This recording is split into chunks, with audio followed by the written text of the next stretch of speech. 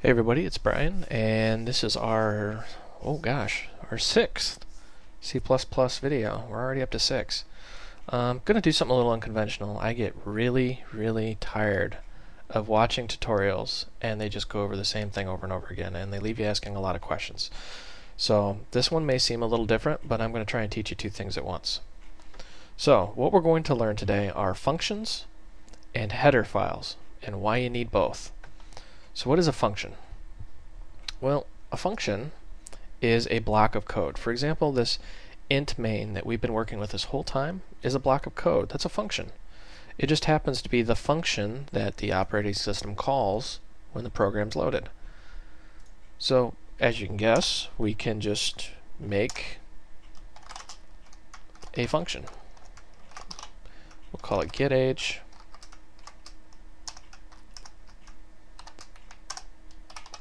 Return, and I'm 36, so we'll just say 36. So we have a function called getAge. It returns an int. Remember, our main function returns 0, but we're just going to return an age using the return keyword. There's my age, and here's the block of code that's going to get executed when we call getAge. Now, there's a little trick I'm going to show you. Remember a couple tutorials ago I said C++ compilers were incredibly stupid? I'm going to prove it to you right now. You ready? We're going to say int age. And then we're going to say age equal get age. And we're just going to say, uh, excuse me, cout age. So we're just going to print the age. As you can see, our function returns 36, so this should print 36. Mm, anybody want to place some money on this? Ooh, there's some build errors. Get age identifier not found. But it's right there. I mean, we can see it. What's what's what's the problem here? Well, if you're looking at this, think like the compiler and read it from top down.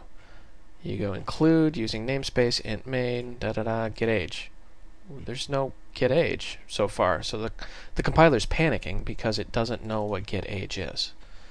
So there's two ways around this. You can either cut it and paste it above the main, and then it'll compile and run perfectly fine. See, 36. Or you can do what's called a function prototype. Now, a lot of the books and classes you'll take will tell you what function prototypes are, but won't tell you why you need them. So let's just create our function prototype here. Now it's called a prototype because it has the signature of the function. As you can see it looks exactly like it, but it has no no body, no code block. It's missing the, the things in the brackets. So all this does is tell the compiler, hey, there's a function out there called getAge that returns an integer. Doesn't care what it does, just defines it. Now you run this, and as you can see it compiles perfectly fine. Same result. Now, why do you need function prototypes? This is what a lot of books and classes leave out. And it leaves a lot of people new to this language struggling with why do you need this? What purpose does it serve? I just paste my code up here. Well, let's say this this file is getting big. I mean, we're talking thousands of lines of code. You want to break this up into several files.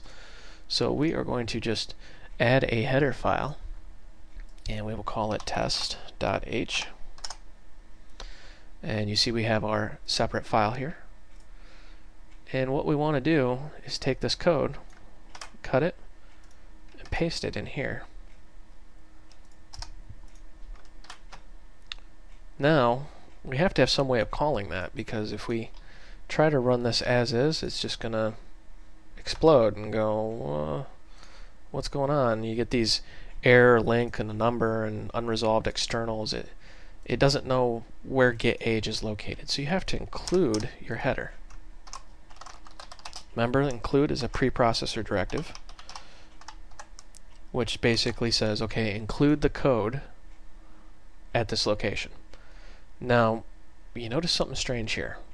Include IOStream, this is where we get cout and cin, has got these brackets but I've written test in quotes. Why is that?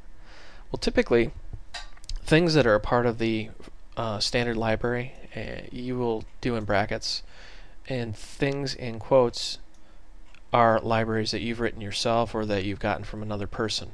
It does that to kind of help the compiler weed out and figure out where these are actually located.